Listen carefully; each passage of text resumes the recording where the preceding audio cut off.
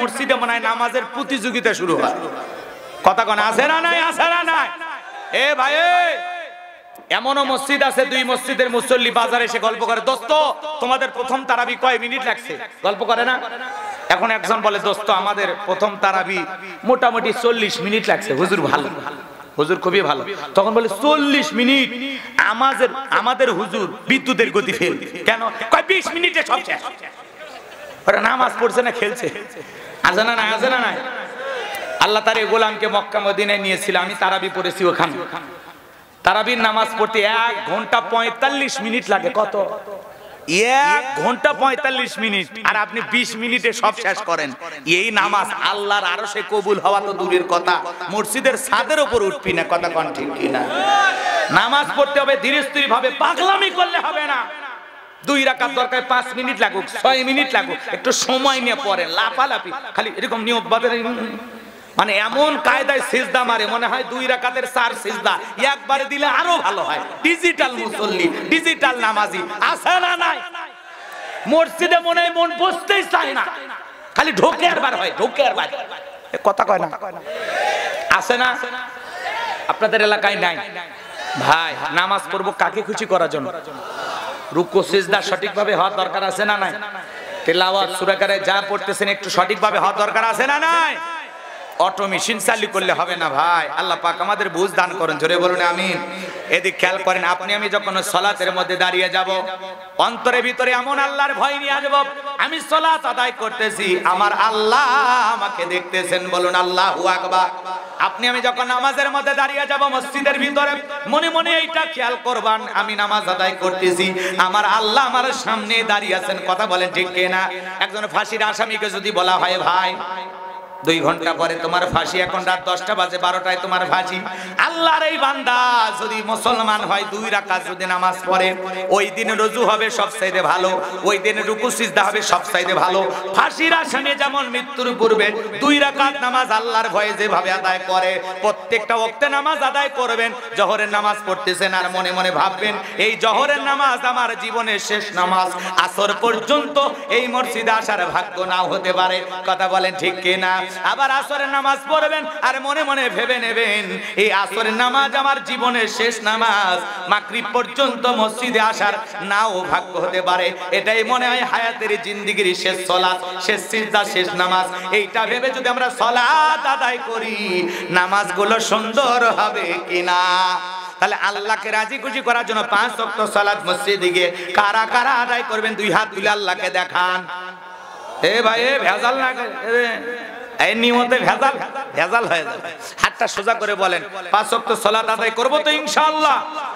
আল্লাহকে রাজি খুশি করার জন্য, আল্লাহ রব্বুল আলামিনকে রাজি খুশি করার জন্য পাঁচ ওয়াক্ত সালাত আজ থেকে আদায় করব, ইনশা আল্লাহ কবুল করুন, জোরে বলুন, আমিন। হাত নামান, ভাইয়ের আমার, এইবার চলেন। মমিন বান্দার দুই নাম্বার গুণাবলী, খালি মসজিদ সুন্দর বানাইলে হবে না। যারা মসজিদে সলাত আদায় করবে, তাদের ইমানটাও সুন্দর হওয়া লাগবে। কথা বলে ঠিক কিনা? মসজিদে নামাজ তাকওয়া। শুধু মসজিদের গেটে তাকওয়া থাকলে হবে না। ওই মসজিদে যারা প্রবেশ করে সলাত আদায় করবে, তাদের অন্তরে তাকওয়ার আয়না বসানোর দরকার আছে না নাই? জোরে বলেন, দরকার আছে না নাই? আগেকার মসজিদগুলো ছিল কাঁচা, কিন্তু মুসলমানদের ইমান ছিল পাকা।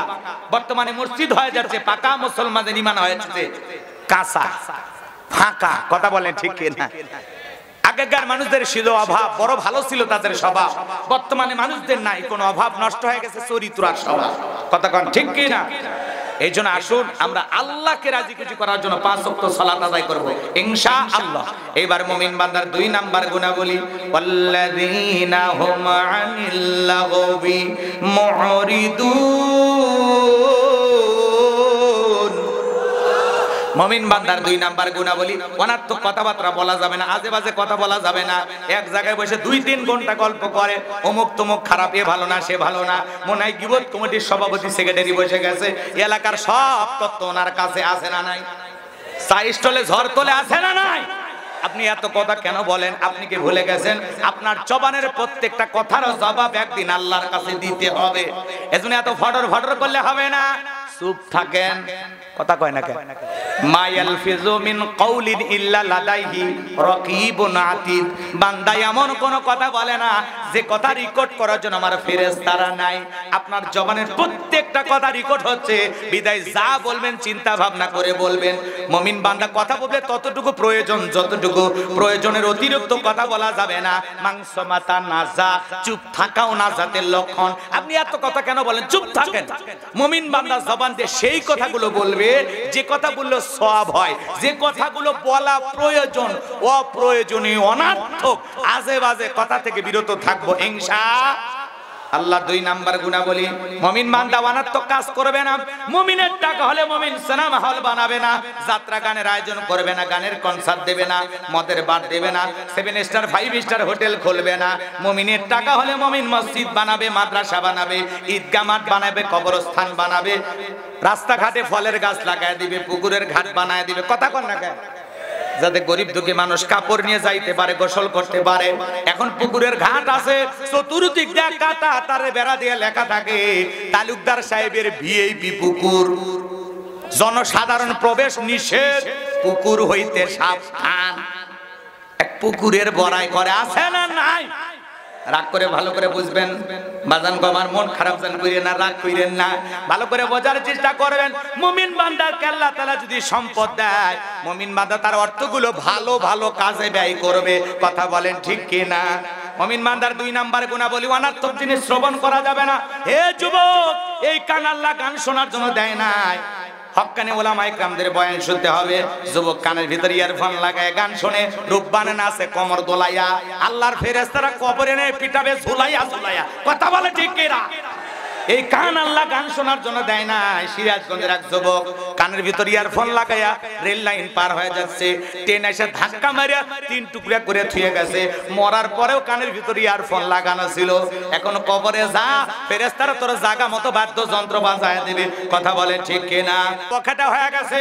এই যে গতকালকের নিউজ দেখলাম, বাজান একজন যুবক পাঁচ লক্ষ টাকার মোটর সাইকেলে আগুন লাগায় ভিডিও করেছে ভাইরাল হওয়ার জন্য। ভাইরাল হওয়ার ধান্দায় পাঁচ লক্ষ টাকার মোটর সাইকেল পুরায়া বলতেছে, ট্রাফিকের মামলা, এগুলো ভালো লাগে না, ঝামেলা। এই জন্য এই যুবকের নাম রাসেল জেটিসি নামের স্টাইল দেখছেন? কথা কয় না? একরম বখাটা যুবক, চুল টুল সেই রকম স্টাইল। বাইক নিয়ে ঘুরতেছে, ওইটা আবার ভিডিও করছে। এখন বলতেছে, দোস্তরা দেখেন, এই যে মামলা, এই যে পুলিশের হয়রানি, ট্রাফিকের জ্বালার ভালো লাগে না। এজন্য আপনার সাক্ষী থাকেন, আপনাদের সামনে মোটর সাইকেলে পুড়িয়ে দিচ্ছি। এই কথা বলতেছে লাইভ করতেছে, আর ভিডিও করতেছে। আর ওই সময় একটা আগুন দিয়া বাজান আমার ম্যাচের ভিতরে ঠাস করিয়া আগুন দিয়েছে মোটর সাইকেলে পুরোটা মোটর সাইকেলে পুড়ে গেছে। এমন দৃশ্য আপনারা দেখেছেন। তাহলে যুবকরা কোন রোগে আক্রান্ত, ভাইরাল হওয়ার জন্য নিজের পাঁচ লাখ টাকার মোটর সাইকেল বাইক পোড়ায় দেয়। এরকম মাথা নষ্ট যুবকও সমাজে আছে না না। এখন প্রশাসনের লোকেরা যখন ধরেছে, তুমি এই ঘটনা কেন ঘটেছো? এত লক্ষ টাকার মোটর সাইকেলে কেন আগুন দিয়েছ? ওই ছেলেটা বলতেছে, আমি ভাইরাল হওয়ার জন্য আমার ইউটিউবে সাবস্ক্রাইবার যেন বাড়ে ভিউ যেন বেশি হয় এই জন্য আমি নাটকটা সাজাইছিলাম। আসল দোষ ট্রাফিক বা প্রশাসনের নয়, পুরো ঘটনাটা আমি ঘটিয়েছি। আমার পাঁচ লক্ষ টাকার মোটর সাইকেলটা পুড়িয়ে আমি ভাইরাল হতে চাই। ভাইরাল হওয়ার নেশায় যে যুবক মোটর সাইকেল আগুন দিতে পারে কয়েকদিন পরে বলা যায় না বইয়ের শাড়িতে আগুন দিয়ে ভাইরাল হতে পারে। পাগল পাগল কত প্রকারের হয়। কথা আপনারা এরকম কাজ করবেন? তাহলে ভাইরাল হওয়ার নিশা যুবকদের নিয়ে গেছে কোন জায়গায়? আল্লাহ যুবকদের হেদায়েত দান করুন। জোরে বলুন, আমিন।